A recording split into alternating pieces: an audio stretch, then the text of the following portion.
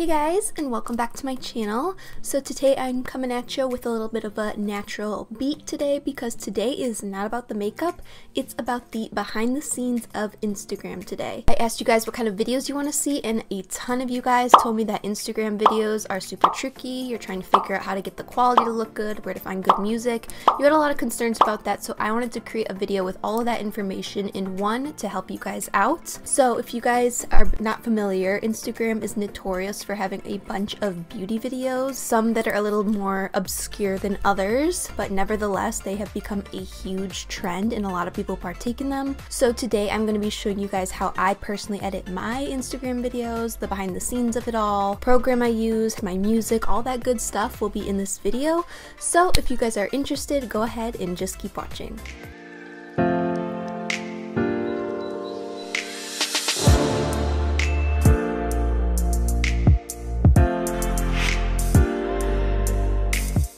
Alright guys, so to start off this video, I'm going to give you guys a little bit of background on the program that I use to edit my videos. So what I like to use is a program called Final Cut Pro. Now I'm not going to tell you to download the pirated version off of YouTube when you search it and find a reliable one with good reviews, but it is a good idea to throw out there, save some coin, you know. I find that Final Cut Pro is the most user-friendly, simple program to use and create great Instagram video content. Most Instagram pages that I'm friends with and follow use it just because it's super easy and simple to create really engaging video content. So I definitely recommend finding a version for yourself. But for this video, I'm going to be using Final Cut Pro because that's what I'm familiar with and that is what I use to edit my Instagram video tutorials.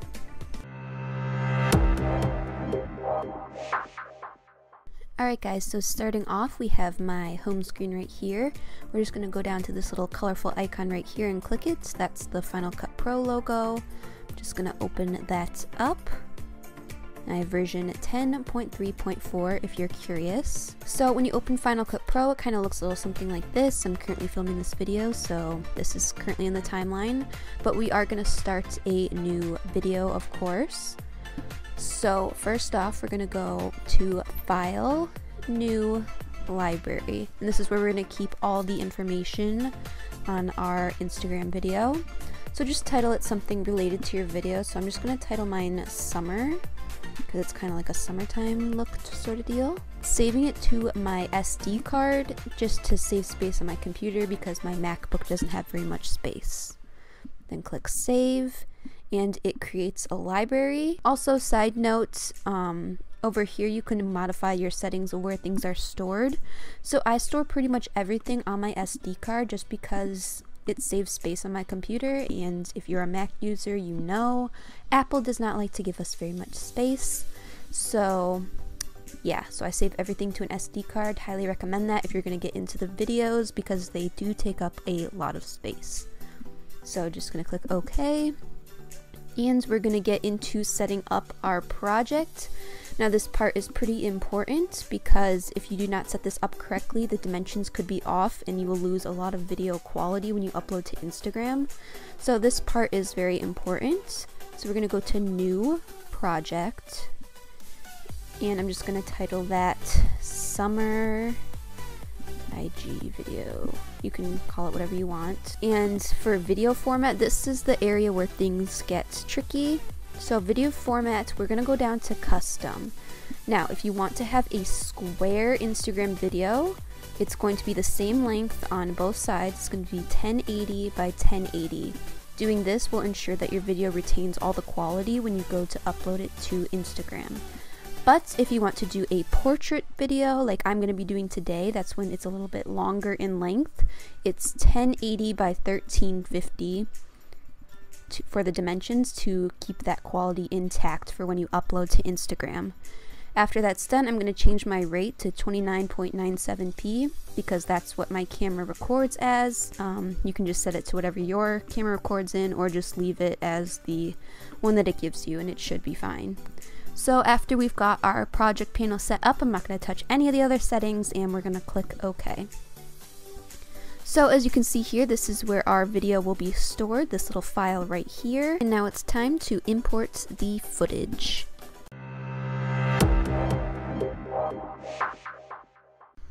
Alright, so now what we're going to do is talk about importing footage. So I'm going to go ahead and go to File, Import, Media.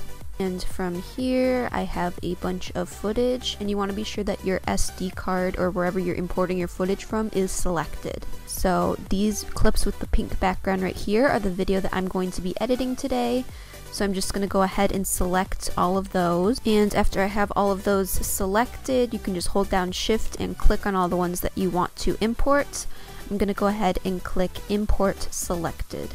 And then here they're all going to load into my Final Cut Pro library so I have them to work with. Also to recommend again an SD card or a external hard drive is very important when you're working with videos because they do take up a lot of space and it's just very nice to have some extra storage on the side. And after our footage is finished importing, as you can see here, it's loading. If you work on your project while it's importing, it can go a little slowly, so I recommend just giving it a minute, kind of get to like 90%-ish of the way and then you can begin dragging in your footage and editing it down. So I will show you guys that once all of my footage is imported in the next step.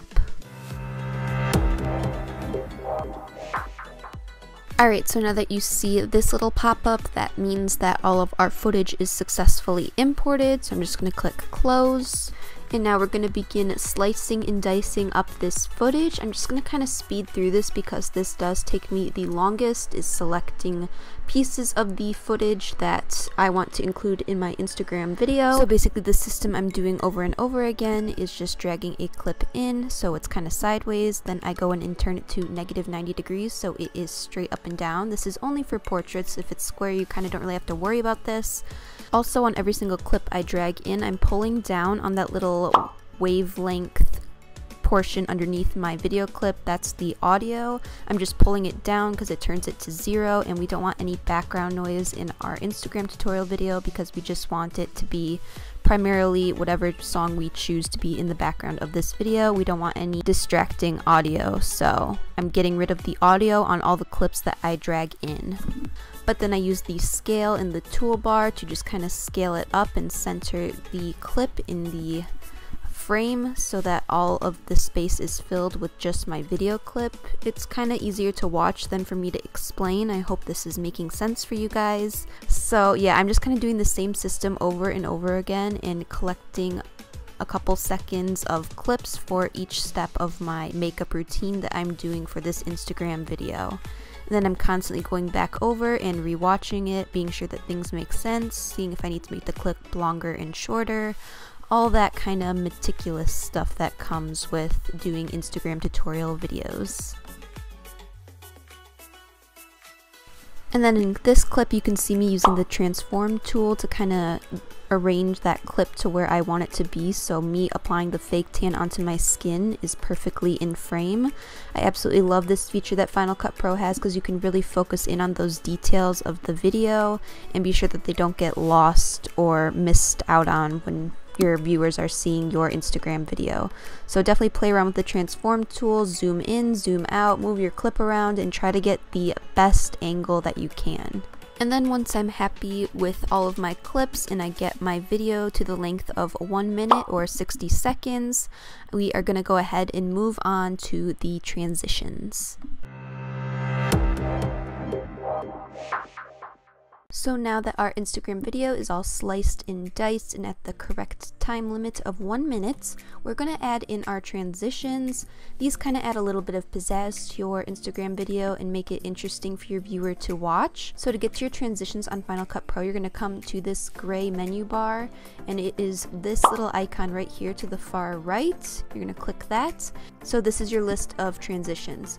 So Final Cut Pro comes standard with a few transitions like the light, lights or the blurs, these all come standard when you download Final Cut Pro. However, if you're like me and you get bored of the Final Cut Pro transitions and you want your video to kind of stand out from the rest, I highly recommend downloading new ones from YouTube. That's how I got my different, more interesting transitions in my Instagram videos. So all you have to do to find these is search FCP Transitions Free Download. FCP stands for Final Cut Pro, and you'll get a bunch of results like this and you're just going to download these and put them in your transitions folder. There's kind of a little bit of a process that goes into it. I can link a video down below that will show you guys how to install new transitions to Final Cut Pro. So if you're interested in this, definitely go down to the link below. I'll have it in the description for you guys to give you that information because I know it can be frustrating and I'd rather a professional tell you guys how to do it than me who kind of really doesn't even know how I did it, to be honest. Typically, I'll add in transitions right when I'm showing a brand new product. So each product that I use, I'll add a transition at the front. Sometimes I'll throw one in between long clips of me just blending my eyeshadow to make it a little bit more fun and interesting.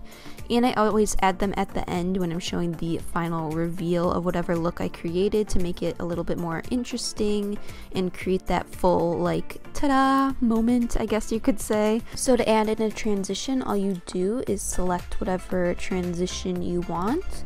You're going to click on it and drag it into your timeline and put it in between whatever clips you want the transition in between. It's gonna take a minute for it to render. If you have these little white dots on top, that means it's taking some time to render. And then eventually you will get a look at what your transition is going to look like. You can go through and make it longer like this or shorter like this for a more abrupt transition.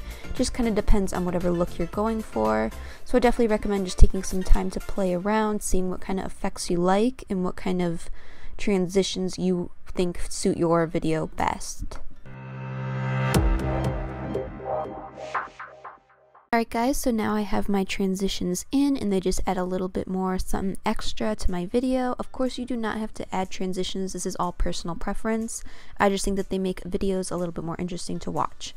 So I was going to show you guys how to add in little popping effects or circle effects around eyeshadows to kind of guide your viewer a little more when they're watching your video, but I'm kind of running out of time. This video is getting a little long and I don't want to bore you guys. So if you guys want me to do a part two to this video of little things that you can add into your Instagram videos to make them more interesting and eye-catching, definitely let me know down in the comments below or by liking this video, and I will definitely make that video for you guys. So now we are going to focus on adding in music to our video to give it that little bit more of an interesting flair because if it's just silent like this, it's going to be a little bit boring. So what we're gonna do is go to our good old pal YouTube and we're going to find some no copyright music. So one thing you can do is if you have a song in particular that you want, for example, if you wanted Ariana Grande Breathin' as a song in your video, you would just have to search that song name along with remix at the end and find a good remix of that song to add into your video. Because if you do not add a remix, you will get copywritten and Instagram will take your video down, which is very frustrating and annoying, and you do not want that to happen. Another thing you can do is if you don't have a particular song in mind, you can go to no copyright sounds. This is kind of my go to for background music. Um, they upload constantly, like every single day, new little songs. They're only about a minute to three minutes long, so they're kind of made for Instagram beauty tutorials. So they're really easy to just download and add into your videos. So I highly recommend this channel on YouTube. If you do find a song that you like, for example, let's say that this is the song that I want to use in my video, I'm going to copy that URL and I'm gonna go to YouTube MP3. This is the address up here. I'll have it linked down below as well. And all you do is paste that YouTube URL into here, select MP3, and then press convert. And this will convert this YouTube video into an MP3 so you can use the song in your video. So this just downloads the song right here. And then all you have to do is just click that and drag that into your video. And then just adjust it so that like wherever the beat drops or the song gets the most interesting it lines up with like you showing your final look. I don't know. That's just what I always do but you guys can do whatever you want, but yeah, it's super easy to add in no copyright music using Final Cut Pro. So now that we have our music in our video, I'm gonna go ahead and show you guys how you can add your watermark to your video so that repost pages do not steal credit for your work. Okay, so to add a watermark to your video, you're going to go to this button right here. This is your text button You're going to click that, and Final Cut Pro comes with a bunch of built in text options. Um, so you just kind of have to play around with them and see which one you like the best. Again, the same sort of idea as transitions. You can download other ones from YouTube and stuff like that. I can have a video linked down below for you guys if you guys are interested in that. So I will typically use Glow or highlights in my videos just kind of depends on what I'm feeling and you just simply grab it and bring it down onto your timeline and I will start it not right at the beginning but in the middle of my first transition right here and then bring it all the way to the end. I don't like to bring it all the way to the beginning of my video because I don't want the watermark to show up before my video starts playing. I don't know, that's just personal preference. You guys can do what you wish. So then to change the title text, you simply just click on this purple box and you can click here and write your username and I typically like to use Hiragino Sans as my font at W2 to make it kind of bold and I will shrink that down a little bit. And I'll go down here to tracking and space out the letters a little bit. You can kind of just play around with this and see what sizing you like. And then I'll bring it down to the bottom portion of my video, probably about here and then we will go into this little icon and go and change the opacity and make it a little bit lighter so that this watermark doesn't get too distracting and cover up any of the stuff that we're doing. But it will still be visible enough on the video so that if repost pages do repost your video and don't give you proper credit people will still know where the video is coming from and be able to find your page and support you as an artist so I definitely recommend doing this for any sort of content you're producing, whether it be pictures or video. So definitely don't forget to add in your watermark. So now that we have our watermark in, it is time to export our video.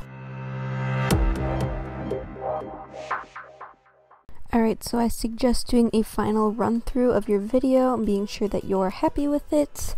And once you are and you're ready to export and take it to Instagram, what we're going to do is go up here to this button right here. This is your export button. Click that and we're going to go to Apple devices 1080p. Now this works best if you're someone who has all Apple devices. If you have an iPhone, if you're using a MacBook, this works best. Um, I don't use a PC and I don't have an Android, so I don't know what settings work best, but this is what I have and what keeps the quality of my videos looking good. So I'm just going to click Apple devices 1080p here and everything looks good and we're just going to go ahead and click share. And up here is our little loading bar and after this reaches 100% it will be completely exported and when our video is exported it will show up in our iTunes actually because it's exporting to Apple devices. So by doing this we're keeping it transferring between Apple devices which then retains the quality. My friend Chris taught me this so shout out to Chris. I will have him linked down below. He's really talented. So all you do is you go to the movies section of your iTunes and click on home videos and this is where all of the videos will appear that you export and once your video is successfully exported you will get this little pop-up that says share successful. So we're just going to click close. And when you pull up your iTunes and search for the name of your video right here is the video that we just exported. So to get this from here to your phone we're going to use airdrop. So to get to airdrop you go to go and then click right here airdrop be sure your phone is unlocked and on. As you can see, here's my iPhone connected to AirDrop and all we're going to do is take this and drag it to my phone and it'll load up and then your phone will successfully receive your video and it will just automatically pop up on your phone screen. You don't have to do any texting or emailing to yourself so it retains all the quality straight from your computer to your phone and we have all the sizing correct and everything so we just go ahead and upload straight to Instagram and your video is complete. Alright guys, so that is it for this video today. I hope that you guys enjoyed and hopefully learned something. If you guys have any questions or concerns, definitely leave them down in the comments below and I will try to help you as much as I can. Also, if you guys want a video on the behind the scenes of me actually filming my Instagram videos, like how I have my camera settings, my lighting, my backdrops, all that kind of information, definitely let me know down in the comments below because that kind of goes into the whole Instagram tutorial thing as well. I can definitely give you guys some tips in there. Don't forget to follow me on social media, underscore McDrew on Twitter and McDrew on Instagram so I can show you guys some of my Instagram videos. Maybe you guys can get inspiration and I can just chat with you guys when I am not here uploading. Please don't forget to like and subscribe and turn on the bell so you are notified when I upload that next video. Thank you guys so much for watching again and I hope to see you in the next one. Bye guys!